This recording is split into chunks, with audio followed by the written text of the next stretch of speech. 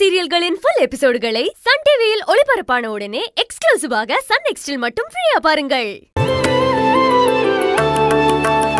இருங்க இருங்க.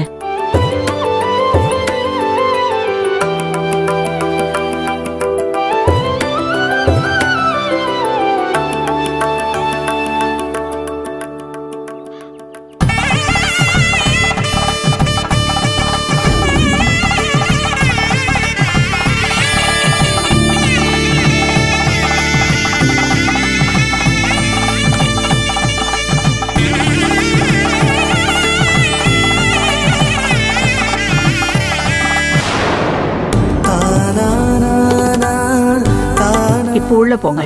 வாங்க. மெதுவா வாங்க.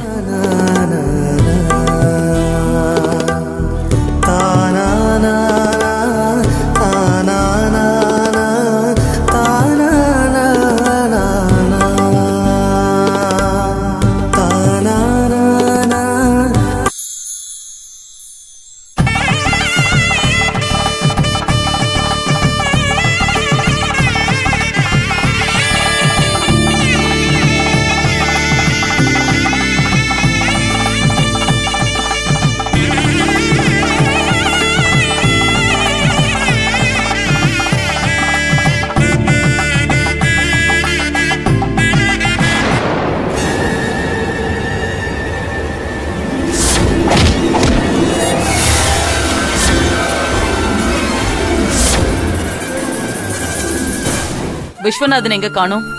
அண்ணனோட கேஸ் விஷயமா போலீஸ் ஸ்டேஷன் போய் விசாரிச்சுட்டு வர போயிருக்காரு. ஓகே. இப்போ உடம்பு பரவாயில்லையா?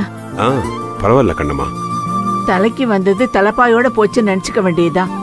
எந்த குறையும் இல்லாம நீங்க நல்லபடியா வீட்டுக்கு வந்ததுக்கு கடவுளுக்கு தான் நன்றி சொல்லணும். கடவுள் ரூபத்துல வந்த காயத்ரிக்கு தான் நன்றி சொல்லணும்.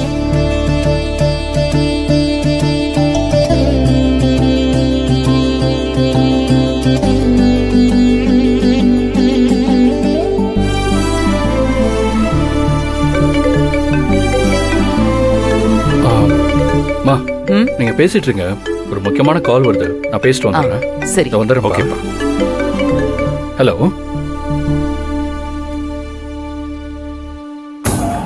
மம்மி இந்த காயத்ரிய கடவுள் லெவலுக்கு வச்சு பேசுறாங்க. இதெல்லாம் ரொம்ப ஓவரா தெரியல. ம். ஓவரா தான் இருக்கு. வீட்டுக்குள்ள வரக்கூடாதுன்னு விரட்டப்பட்டவள நம்மளே ஆர்த்தி எடுத்து கூப்பிடுற மாதிரி ஆயிடுச்சு. மாமா? ஹாஸ்பிட்டல்ல இருந்து வந்துட்டீங்களா? ம். உங்களுக்கு ஒன்றும் பிரச்சனை இல்லைல்ல மாமா.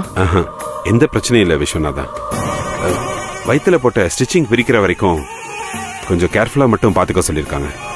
பெயின் ஒன்றும் பெருசா தெரியலப்பா. சரிங்க மாமா. கொஞ்சம் கேர்ஃபுல்லா இருங்க.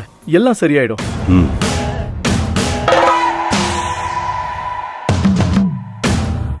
விஸ்வநாதா நீ போலீஸ் ஸ்டேஷனுக்கு போனியே. அந்த விஷயம் என்னாச்சு? ஆ. இன்ஸ்பெக்டரை இப்பதான்க்கா பார்த்துட்டு வரேன். மாமாவை கத்தியால குத்தப்பட்ட இடத்துல கிடைச்ச சிசிடிவி ஃபுட்டேஜை வச்சு குற்றவாளியை எப்படியும் கண்டுபிடிச்சிருவாங்க? அந்த ராஜேஸ்வரி தான் இத பண்ணான்னு கூடிய சீக்கிரம் கன்ஃபார்ம் ஆயிடும். அவ உள்ள போறது உறுதிக்கா?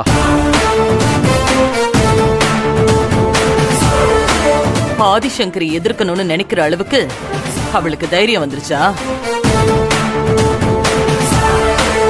எப்ப அவளுக்கு அந்த தைரியம் வந்ததோ? இனி அவ வெளியிலவே இருக்க கூடாது சீக்கிரமா உள்ள தூக்கி போடுறதுக்கு முயற்சி பண்ணு. லேட் பண்ணிடாத. நான் பாத்துக்கிறேன்க்கா. அந்த ராஜேஸ்வரி கொடுத்த அடியை விட அவளுக்கு நான் கொடுக்க போற வழி கொடூரமா இருக்கும்க்கா. அக்கா அப்புறம் ஒரு முக்கியமான விஷயம். மாமாவோட கேஸ் விஷயமா நான் போலீஸ் ஸ்டேஷனுக்கு போனேன்ல. அப்போ நம்ம வீட்டுக்கு கொஞ்சம் நாளைக்கு முன்னாடி திருச்செந்தூர்ல இருந்து மாணிக்கன்னு ஒருத்தர் வந்தார்ல. ஆமா. அவருக்கு என்ன அவரையும் அவர் மனைவியையும் கொஞ்ச நேரத்துக்கு முன்னாடி நான் போலீஸ் ஸ்டேஷன்ல பார்த்தேன்க்கா